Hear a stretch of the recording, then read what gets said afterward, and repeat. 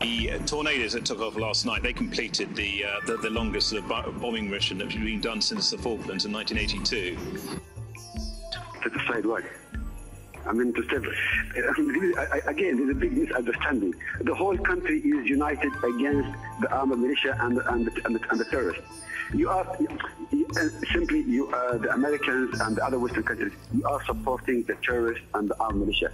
That's it. So, for now at least, Colonel Gaddafi supporters remain defiant. His opponent.